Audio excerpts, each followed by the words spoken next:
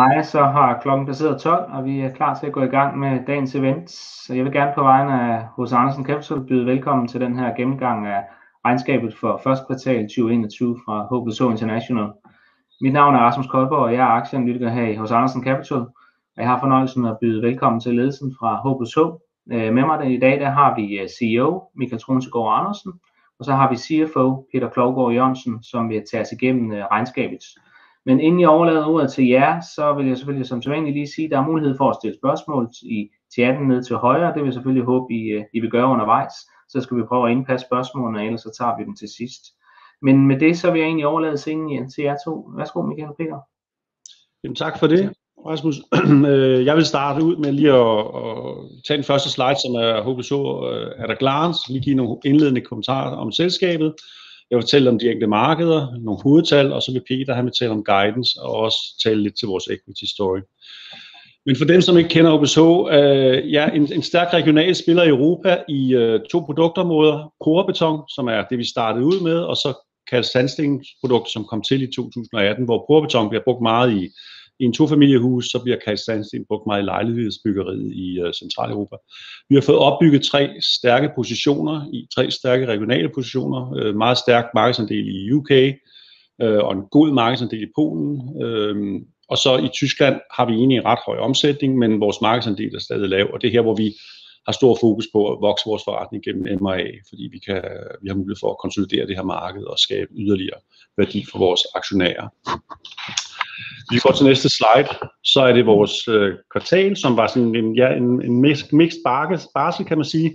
Vi havde øh, en, en meget øh, øh, stærk øh, performance i UK, hvor vi så et bounce back fra øh, en total lockdown i anden kvartal af 2020, og så en, en, en, kan sige, en tilbagevending til, til gode niveauer. Der har vi bare set UK, øh, UK i, to, i første kvartal har gjort det rigtig, rigtig godt. Så har vi i, øh, i øh, Centraleuropa og Polen haft en, en svær start, på grund af, at vi havde det værste vintervejr i øh, 10 år i de markeder. Det har påvirket vores salg i de første to måneder. Og det ender så med øh, nogle, nogle nøgletal, som, som er ja, øh, lidt øh, nede i forhold til sidste år. Altså en organisk vækst på minus 9%, en EBITDA på 109 millioner mod 131 året før, og en EBIT på 64 millioner mod 85 året før. Øhm, og selvfølgelig øh, et cashflow, som er påvirket af øh, indtjeningen, men som også var negativ sidste år, men der havde vi jo lavet en, en større akquisition, eller en akquisition i Tyskland, som påvirker det. Øhm, helt overordnet så øh, har vi set en, en, en meget, meget stærk tilbagevending til gamle niveauer i, øh, i løbet af marts og april. Øh, en stor pick-up der, Øhm, og derfor øh, så er de, den underliggende forretning rigtig god. Og jeg vil også lige kaste et anker tilbage i 2019. Når du ser på de her tal, øh, 2019 var jo vores rekordår på EBIT, øh, vores bedste finansielle år nogensinde. Og det her første kvartal øh, på både marginer og på EBIT er faktisk bedre end vores første kvartal i 2019. Det skal man nok lige holde i baghovedet. Hvis vi ser på de enkelte markeder, vi tager den næste slide, og vi starter med det, vi kalder Central Vester, øh, Vesteuropa, som er Tyskland og omliggende geografier, øh, inklusive de nordiske lande.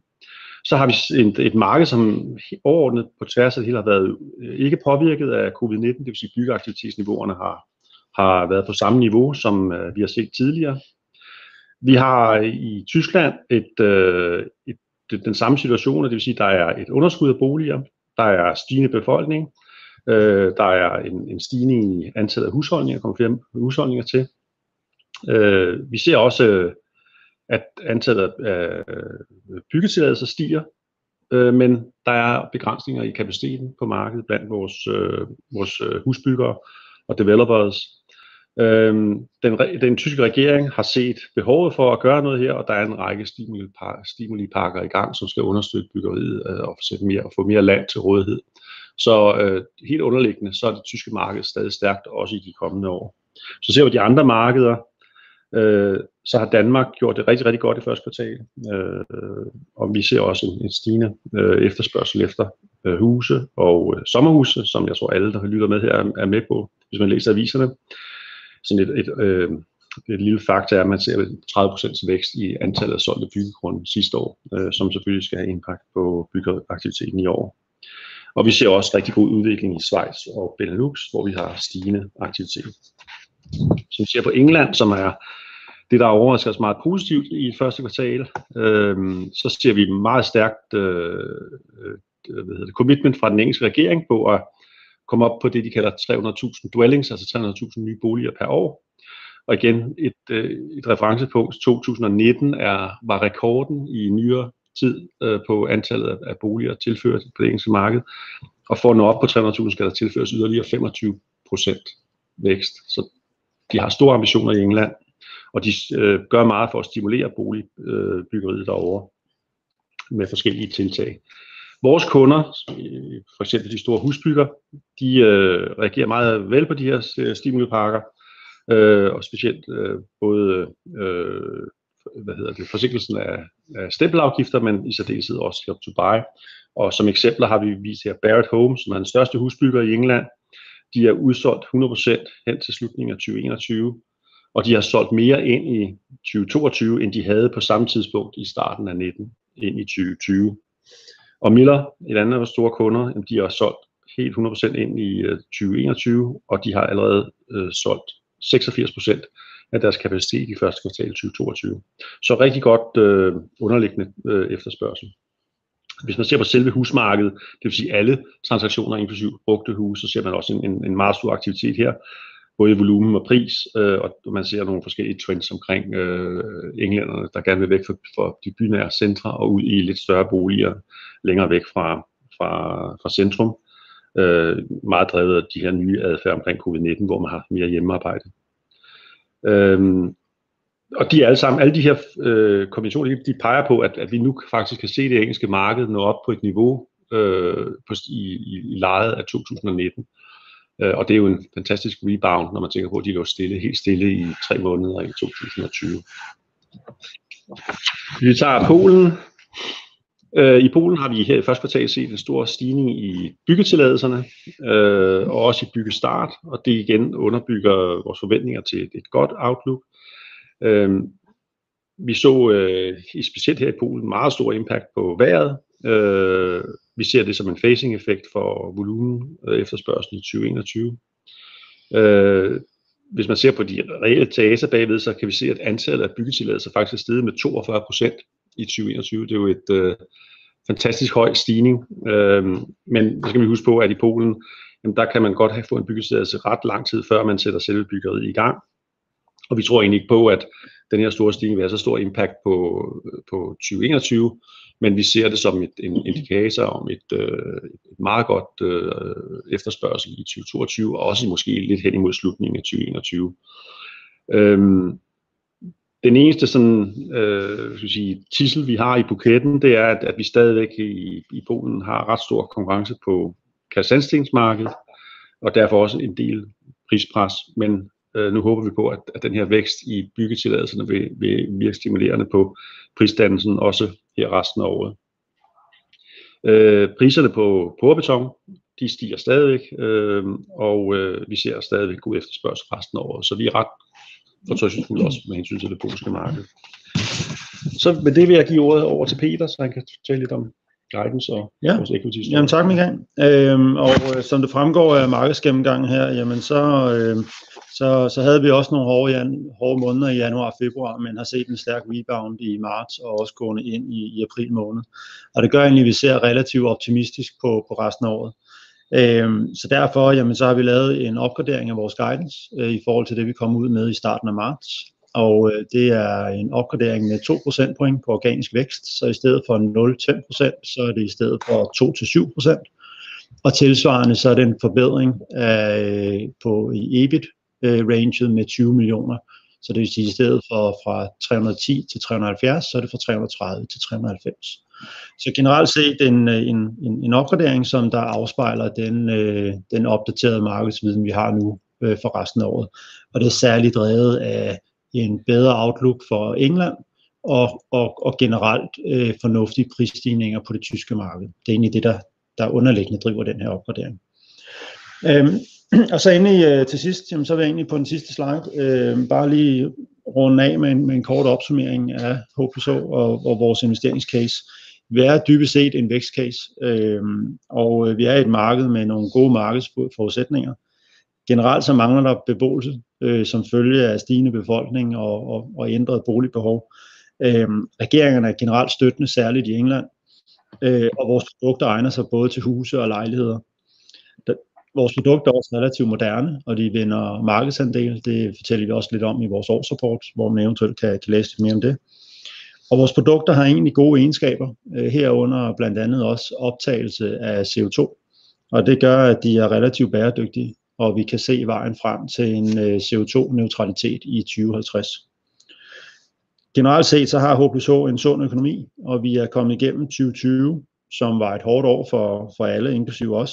Øh, men vi kom igennem det med stigende bruttomarginer, et godt cashflow og leverede det bedste resultat nogensinde i HPSH's historie. Så vi, er, vi har en god produktportefølje i et marked med nogle gode forudsætninger og et selskab i vækst med en sund økonomi til mere vækst. Og det er egentlig investerings, investeringscasen øh, uh, in short. Så med det, så øh, vil vi egentlig øh, vende over til dig, Rasmus, til, til Q&A. Yes, jamen meget fint, tak for det. Øhm, jamen der er allerede kommet et spørgsmål her, det er lidt omkring, øh, hvem er øh, konkurrenterne i Danmark og, og på de andre markeder, hvor I øh, opererer, hvis I kan med en kort kommentar til det.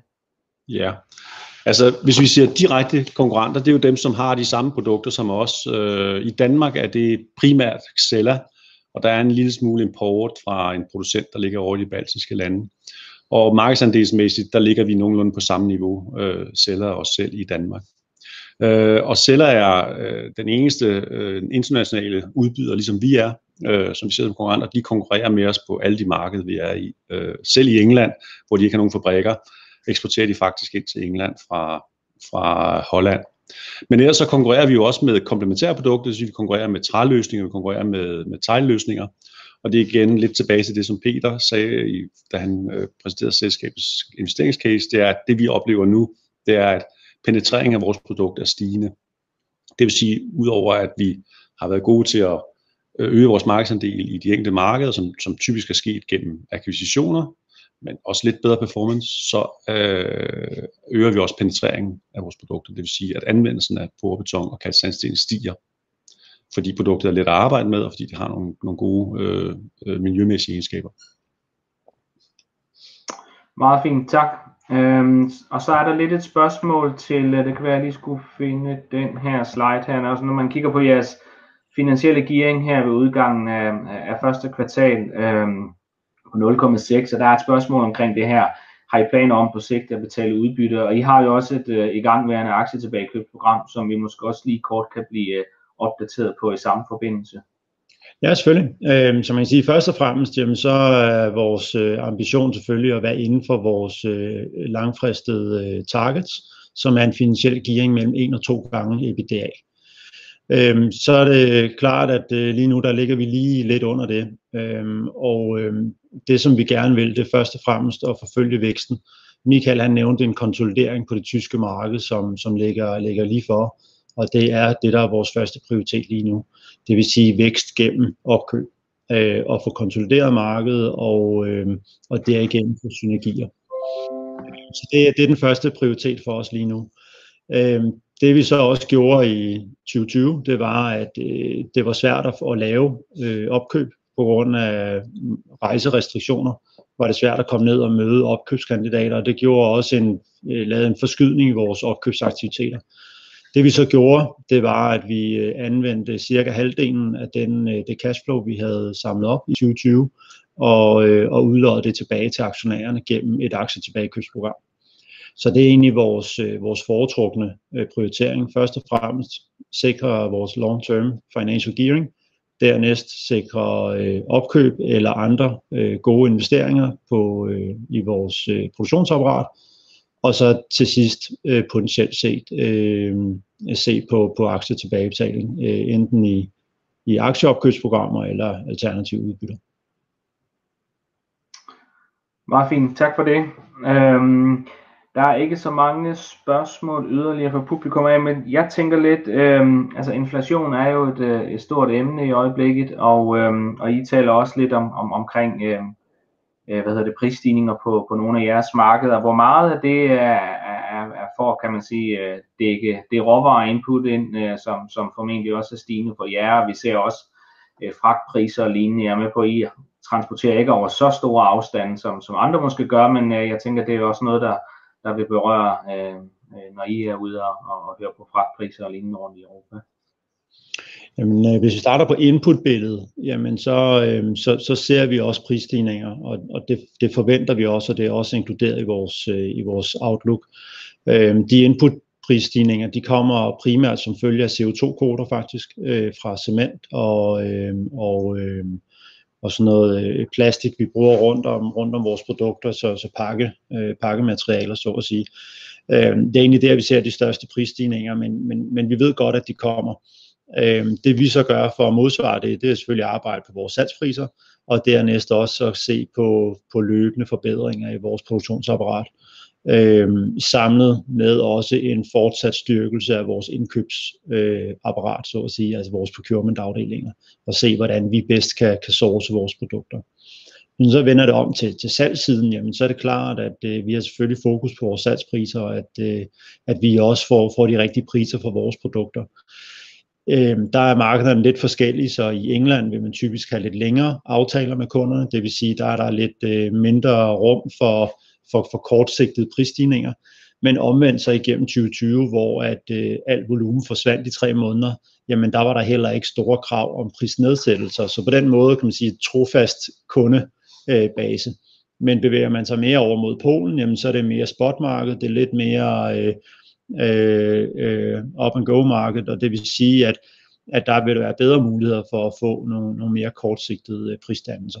Og det er klart, at det, det, det udnytter vi selvfølgelig øh, til, til bedste evne. Og vi har jo ligesom sagt, at vi vil rigtig gerne øh, holde en gross margin på, på 30% minimum. Øh, nu i kvartalet er vi lige en snas under, men vi oplyser også, at i marts måned var vi over de 30%. Så det vil sige, at vi er well on track til at holde fast i de 30%, som er vores target. Okay, meget godt. Øhm, et spørgsmål her, der kører lidt på, øhm, hvor fokuserer I jeres øh, R&D-udvikling? Øhm, er det mod produkter, processer, øh, produktionsoptimering, distribution og lignende? Øhm, er der sådan nogle hovedfokusområder øh, hos jer, som I kan komme ind på?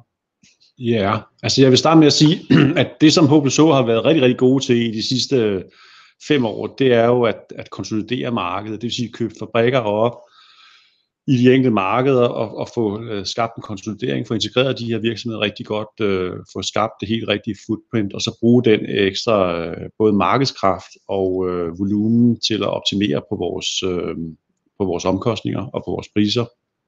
Vi er også ret gode til øh, at bruge best practice sharing på, på tværs, så det, det er nogle ting, som der altid har været fokus på i en, i en case som HSO, som jo i virkeligheden er dannet af en mængde øh, akquisitioner i de sidste 20 år.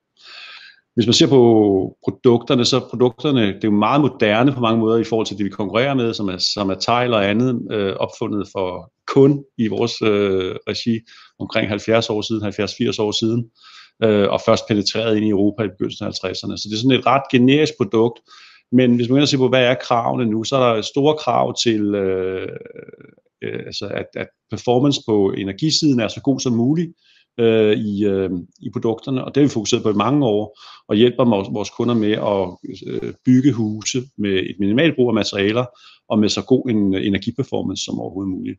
Men her er et område, hvor vi kan gøre meget mere, hvor vi også fokuserer på at gøre meget mere. Øh, øh, der er et kæmpe markedspotentiale i øh, Europa lige nu for energirenovering, fordi der er så stor en, en, en stall base af houses, som, eller huse, som, som klarer sig dårligt, og her er et stort marked, som vi kigger på. Og den anden ting, som vi er meget fokuseret på, det er at øge produktiviteten hos vores kunder, fordi specielt i byggebranchen har produktivitetsforbedringerne over de sidste 20 år været virkelig, virkelig dårlige. Øh, det er stadigvæk meget manuelt, der er stadig mange fejl, og der fokuserer vi også på at komme ud med løsninger, der kan øge produktiviteten hos vores kunder, så de kan bygge hurtigere og med et lavere forbrug af mandetimer.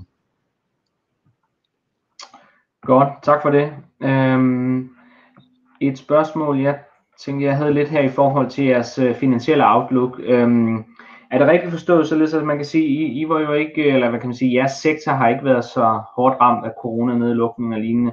Er det rigtigt forstået, altså man kan sige, jeres outlook her, det er, der er ligesom ikke lagt noget corona-usikkerhed ind, hvis man kan sige det sådan. Det er, øh, det er ligesom sådan, som vi ser, ser året. Øh, øhm, Ja, altså man kan sige, at 2020 var vi jo ramt af corona i det, at England ja. eneste marked lukkede ned i, i tre måneder. Men derudover var vi ikke synderligt påvirket som sådan. Og det er egentlig også en forudsætning i, i det her, det er, at øh, vi stadigvæk har nogle gode supply chains, og at øh, generelt så bygge øh, branchen fortsat kan, kan operere. Og det er egentlig også det, vi har set øh, her i, selvom at der kommer en tredje bølge ind over visse lande, særligt Polen for eksempel, Tyskland også til dels, jamen så, så, så, øh, så holdes byggeriet i gang. Og der har ikke været nogen øh, nationale eller større regionale lockdowns nede, der har påvirket byggeriet. Så, så det, er, det, det er den grundlæggende forudsætning. Godt. Og så et, øh, et spørgsmål her. Øhm, ser I øget genbrug af byggematerialer som en trussel eller en, en mulighed? Og hvordan med øh, råvarer til jeres produkter? Vi, øh, vi har været en lille smule inde på det, men, øh, men det er jo så måske mere i forhold til, til inflationsdelen i det, kan man sige. Men oplever I også noget knaphed på, på råvarer input-siden, som man hører om fra andre øh, sektorer og industrier?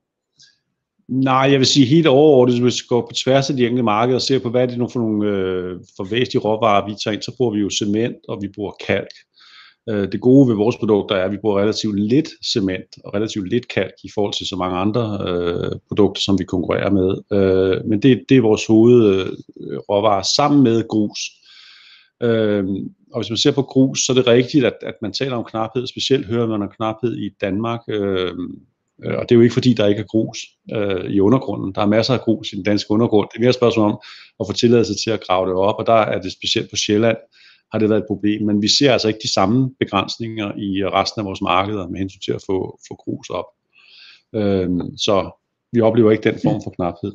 Vi producerer jo ikke i Danmark, øh, så vi producerer i de andre ja. omkringliggende lande. Så det er ikke en problematik, vi som sådan ser.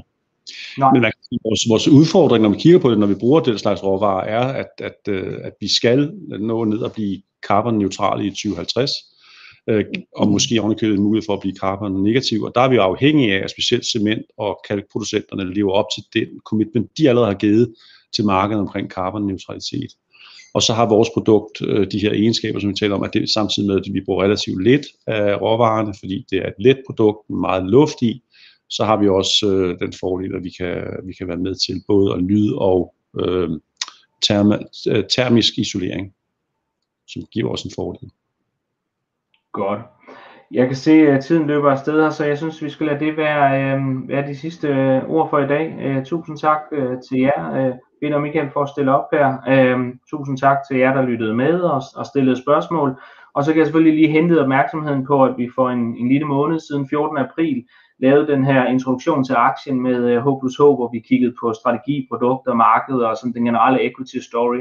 Så, øhm, så hvis øh, der er interesse lige at gå et, et spadestik dybere, end vi gjorde i dag, så er der i hvert fald mulighed for at gense den inde på vores, øh, på vores hjemmeside. Men med det så vil jeg egentlig afslutte i dag og ønske jer en god dag alle sammen. Tak.